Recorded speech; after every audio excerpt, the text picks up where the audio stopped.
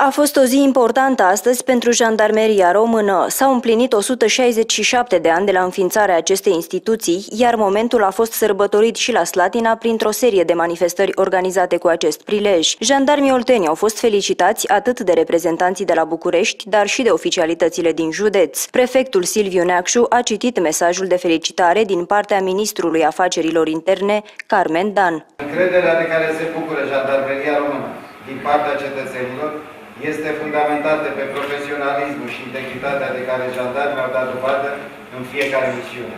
Forță militară specializată a statului de drept, sigură și stabilă, echidistantă și credibilă, Jandarmeria reprezintă o importantă componentă a sistemului de ordine publică, apărare și securitate națională. Vă urez uh, la mulți ani, cu ocazia aniversării uh, a 167 de ani de la înființarea Jandarmeriei Române, o instituție care din punctul meu de vedere, are un rol esențial în asigurarea climatului de siguranță a comunităților pe care le reprezentăm. La eveniment a participat și o delegație de la baza militară NATO de la Deveselu. În cadrul manifestărilor au fost avansați în grad șase subofițeri și un ofițer.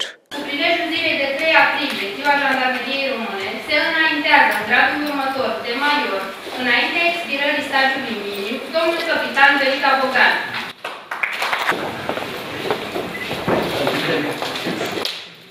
Reprezentanții instituțiilor publice, cei ai mass media, dar și foști șefi ai jandarmeriei Olt au primit diplome din partea șefului instituției, colonelul Dorel Drejoi. Manifestările au continuat în fața Consiliului Județean Olt, unde au fost prezentate echipamentele de intervenție ale jandarmilor spre bucuria celor mici care au trecut pe la fiecare stand în parte. Mie mi-a plăcut armele.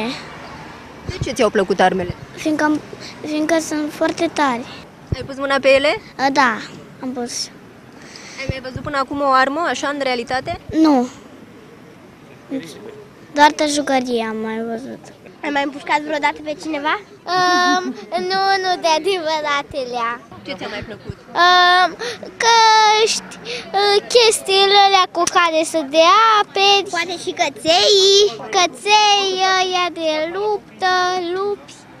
Da. Ne-a mai plăcut și binoclurile. Da. Au arme frumoase jandarmii? Da. Ce știți voi că fac cu ele? Um, noi, ști, noi știu că împușcă oamenii răi. Și e frumos ceea ce fac ei? Um, pentru băieți, da, că se luptă. Da, pentru fete? A, așa și așa. La final, jandarmii au făcut câteva demonstrații cu câinii de intervenție.